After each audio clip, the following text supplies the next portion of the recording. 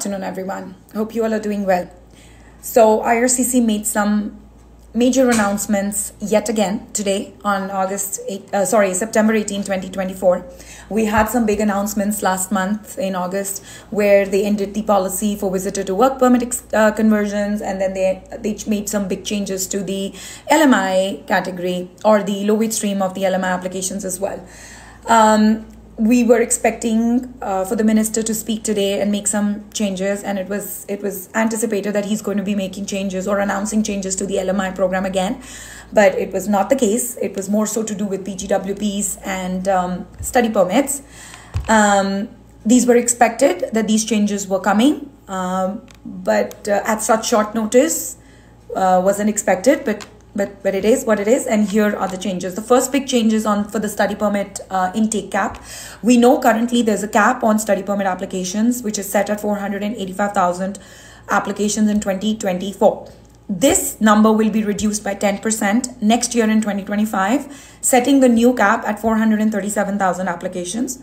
Now the big one here is that this year for this year's cap 2024 cap masters and phd students were not included but in the next year, 2025 cap, masters and study permit, uh, masters and PhD students will be included and they will also have to submit a provincial attestation letter with their application. Right now, master students, PhD students do not need to obtain a, a provincial attestation letter and they're not a part of the cap but next year onwards they will be needing one and they will be need they will have to submit that with their application and they will be included in the cap of 437000 the second big change that we are hearing is on the eligibility of postgraduate work permits. Starting november 1st 2024 international students applying for postgraduate work permits will have to submit a, a, language test result with their application. And they will have to prove that if they're a university graduate they, they have a clb 7 on their language test result.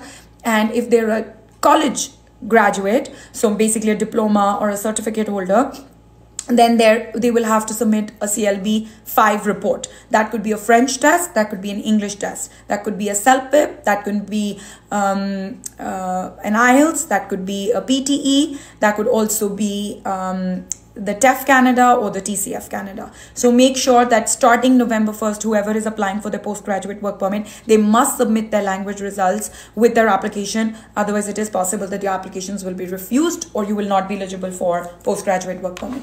Another big change is um, that postgraduate um, eligibility, work permit eligibility will be restricted only to graduates from a field of study that is linked to an occupation in long-term shortage.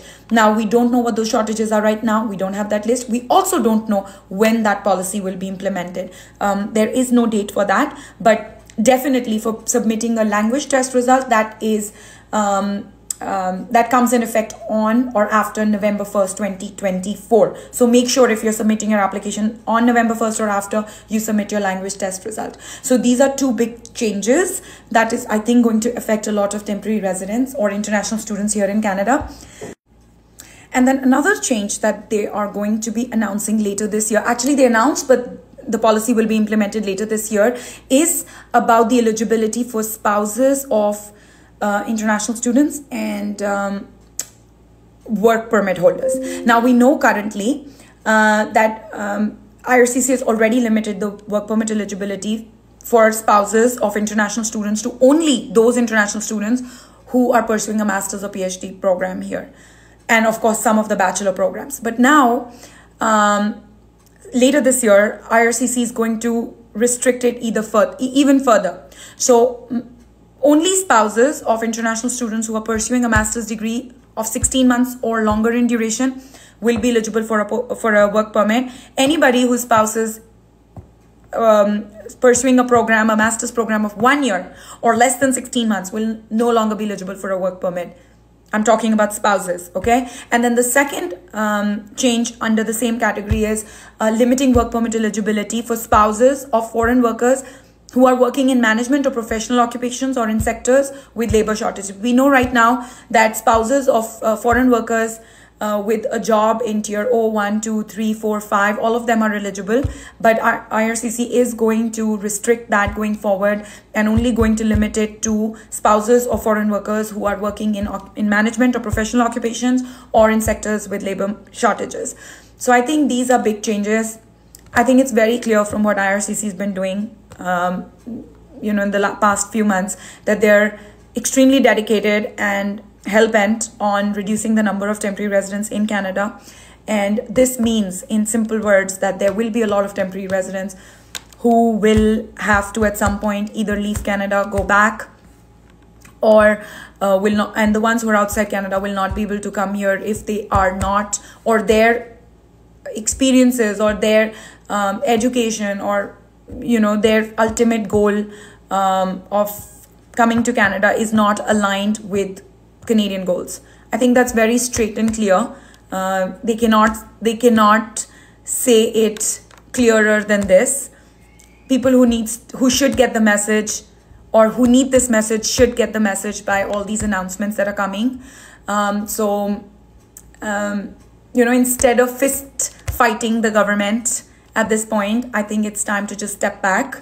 Um, if you're not one of those people who can easily get through this um, or who's who, who's who's actually been in an industry that the Canadian government is focusing on, it's going to be hard for you. Um, I I don't think I can say it any clearer than this as well. And the government has also said it loud and clear.